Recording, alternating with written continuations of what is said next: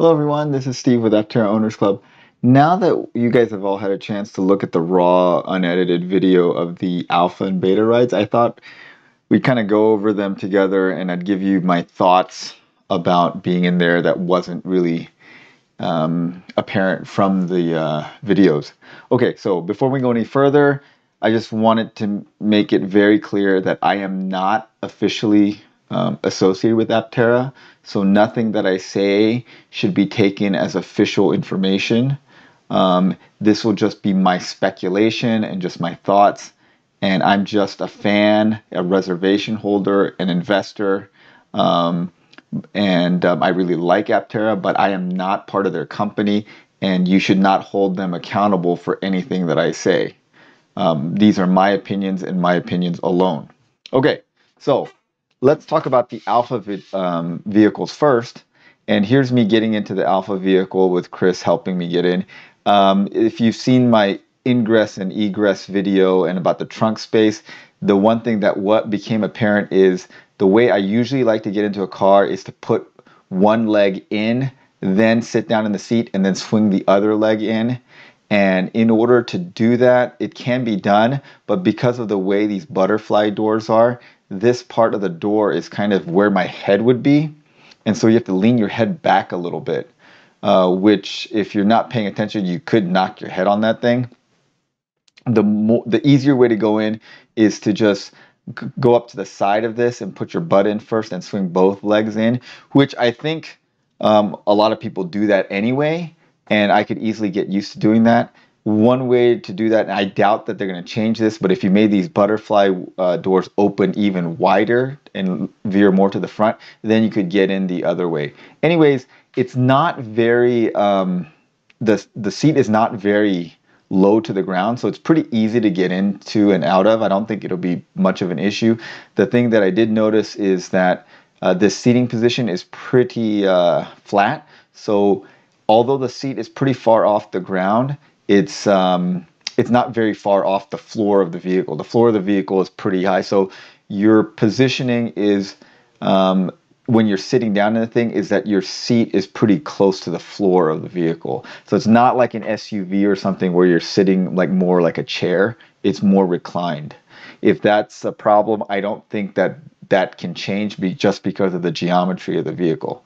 Okay, the other thing I noticed is that um, the solar panels on all the Alpha vehicles are not actual solar panels. They are cosmetic. They don't. Uh, they're they're not. I don't. I'm almost positive they're not functional.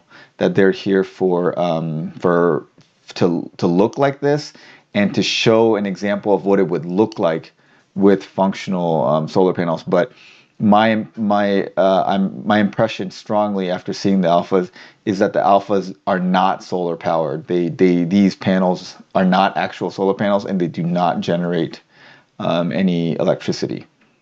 And then Chris did confirm that when they redesigned the beta, they got rid of some of these lights and it freed up more space for more panels. So there's going to be more panels on the production vehicle. Okay, so we're getting in. Um, the it the other thing that you need to know about these alphas is that they are vehicles that were made to look nice and they they do look beautiful and they look nice and they drive but they're not anything close to production. The fit and finish is of a prototype vehicle and not a finished vehicle so it will rattle a lot.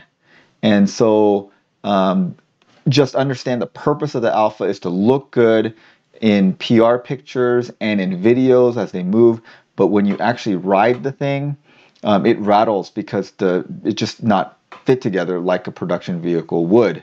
And we purposely went over speed bumps and things like that, and it it feels very rattly in the Alpha vehicle, but it, I don't think it's because of the suspension. I think it's just because the body panels just rattle a lot the other thing that I did mention, and if you if you listen to the video, is that the rear wheel going over a bump, it's almost imperceptible. Like you don't feel it. It's it's much less than in a regular car. In a regular car, when you go over speed bumps, you definitely feel it go over the rear wheels.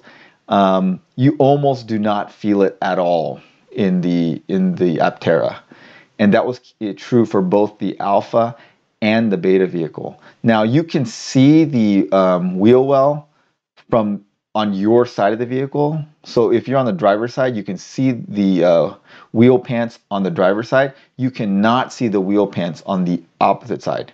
Oh, here's the takeoff. This thing takes off extremely fast, very fast. Um, I've been in um, single motor Model S Teslas. It is faster than that, or it feels way faster than that. Um, it feels just as fast as a dual motor uh, Tesla. I don't know if it because the car is just more rattly and it just makes it feel faster. Sometimes that's the case, but it feels extremely fast. Um, it is, uh, yeah, it feels like a sports car actually, and I. It kind of reminded me of I don't know if you guys have seen those um, videos of uh, supercars where like people don't know what they're doing and they just like lose control of their supercar and their supercar like the Lamborghini ends up in a ditch. Um, that I feel like the power to weight ratio in the Aptera is so good that if you don't know what you're doing, you could lose control of this car because it just has that much power for the weight. Because the it doesn't have that much power, but the weight is so light. It's you know 1600 pounds, but it's got a lot of torque off the line. So if you're trying to like peel out of a uh, a red light while making a right turn, mm, I think you could lose control of the car. So I think it's good that um, they detuned the engine a little bit. They said on the beta that it was pretty detuned and the beta felt faster, but not that much faster than the alpha. And the alpha was surprisingly fast. Again, these um, solar panels on the dash are not real solar panels. They are um, they're just like little plastic cutouts on this video, you can't see images here just because of the way the camera is, and you can't really see this well. Um, and the glare looks bad on here. In in real life, the glare is not noticeable. You can clearly see pictures here uh, on the rear view mirror cameras. The the uh, the car felt very planted as it was going over corners, and um, you know I thought the ride was fine. It's a little stiff um, so it's not plush. It won't be like a large vehicle. Um, it feels like a sports car. Um, I, I, think that's what I would uh, um, I would associate with it. it. It feels very much like a sports car, which I personally like. But if someone's looking for a very plush ride, mm, I'm not sure that you're going to get that with the Aptera. The again, the beta transmission felt much more planted, and, but it did feel stiffer even. And the ballast was out of the beta, so maybe with more weight it would feel a little uh, more plush, but um, it felt very stiff. It felt very confident in the corners. And um, again, the most surprising thing to me was how little you felt it go over the rear wheel um, when you went over speed bumps and these little dips and things like that. I didn't get a feeling about how tight the turning radius would be, and unfortunately, I didn't think to ask them about that. Um, but it just kind of felt like normal, I guess. I don't, I don't, I can't, um, I can't say that it's like the turning radius of a Civic versus a F 150 truck or something, but I, I it, it felt normal. It didn't feel like anything unusual. So Chris is going over um, some changes in the beta about how they made the cab bigger. The other thing you need to notice, uh, know about the Alpha is that there's so many things that are not finalized. Like the seats are the seats in the Alpha are not what the seats are going to be in production. The steering wheel isn't the same thing. The dash is not the same thing. Um, what is the same is like the basic concept of the car is the same. The shape is the same. The the fact they have wheel pants is the same. Um, but a lot of the nitty gritty has not been uh, finalized. And so people want to know like what is the charging plug? Um, what exactly is the seat going to feel like? You know, what exactly is the suspension going to feel like? Now, they did say the suspension is pretty much locked down. They've they've kind of figured they've uh, fi- kind of finalized that, and so he was going over the double trailing link rear suspension. Again, the rear suspension feels great. I think if you went over a pothole in that thing, you would not feel it. Like, um, you, it, it wouldn't make much of a difference. the wheel pant design has not been finalized, although it seems like they're very close. And there was a there's a video on this channel going over the wheel pant design. So they're they have several engineers working very carefully on all the subsystems. You know, the cooling system and the suspension system. There's a whole there was a whole unit of people working on the battery packs, and they asked me not to film that because I think they're doing some proprietary stuff. And uh, I, am sure they're going to release information about that, which I'm looking forward to. But um, there was definitely a bunch of battery work being done, which they asked me not to film because um, I don't think they're quite ready to um, make that public. I suspect it's because of supply chain issues. They don't want to um, tip their hand on their supply chain and who their suppliers are going to be, just in case they're in talks with other suppliers who uh, might they might get a better deal from them, and they don't want to tip their hand about what they're talking about. Anyways, they're doing a lot of work, and they're finalizing um, all these things about their subsystems. This is uh, Chris talking about how much deeper the well is going to be. The the the trunk space is very long. It's like seven and a half feet, I think, or fairly close to seven and a half feet. Um, I'm 5'11. I had plenty of space to lay down. Um, when you when you put the thing forward, I have at least a like a foot above my head before I hit the end. And they said the beta is going to be four inches longer, so at least a foot and four inches. Uh, no problem. You can see here that the seats sit pretty close to the floor pan. Uh, those seats are obviously not the production seats, not anywhere close. These are just like random racing car seats that they found that they strapped in there on the beta. Of course, this beta mule is just mainly to check out braking and suspension um, things, and they did say that they're going that, that this is pretty finalized. But there's a lot of things that are not finalized. So I think there's a I see a lot of people comment putting in the comments about like what's this going to be, what's that going to be. The reason that we don't that uh, Aptera doesn't give the answers is because they haven't finalized it. I think they have a good idea what they want, and I think they're talking to their suppliers and trying to see what they got, they can get, and what compromises they need to make to make the supply chain work well for them, and to make it hit their price point. But they haven't, uh, they haven't finalized it, and that's why we don't have answers about that. Um, so yeah, he's talking more about it. Let's skip ahead a little bit. Okay, so I had to put the racing harness on, which um, wasn't used to. I'd not never used a four point harness before, so uh, Daniel's helping me to clip that in. So this thing is a, you know, an all wheel drive. They had this big giant thing in the front, so you can't put your feet in there. Uh, there was plenty of headroom in here. Now there's going to be some interior trim which takes up less of the less of the headroom but um, there was uh, plenty of headspace. You know, looks like about five, six inches of headspace between here. This roll bar obviously wouldn't be in the uh, vehicle. Yeah, uh, I think four, four or five inches maybe. Um, and then these seats are much taller than the production seats. So I suspect that there is about five, six inches of headroom for me, and I'm 5'11. So you can kind of figure out what that's going to be. Of course, those are just very approximate numbers, so you know that that that may not be uh, exactly what it turns out to be. So Daniel's getting strapped in here. Uh, what else can we say about these vehicles? Okay, that this is the actual uh, honeycomb sandwich uh, construction. I did ask them about hemp being in the vehicle that has not uh, that's one of the things that has not been finalized. Sounds like they're still looking into that as a possibility. I don't know that it's a huge priority for them and i don't know that it needs to be a huge priority but um, they haven't they haven't said yes or no about the hemp in the vehicle. Again these this transmission this uh, suspension felt very good very planted very solid. Um, it felt really stiff like a sports car um, but I think some of the ballast is out, so it, I think it'll be a little bit of a plusher ride. See, you, you see that like the bump was more significant there, and I think it is because partially um, the ballast is out of this vehicle and it's pretty light. This vehicle is very detuned, according to Daniel. They've they've scaled back the power, and I think that's a good thing.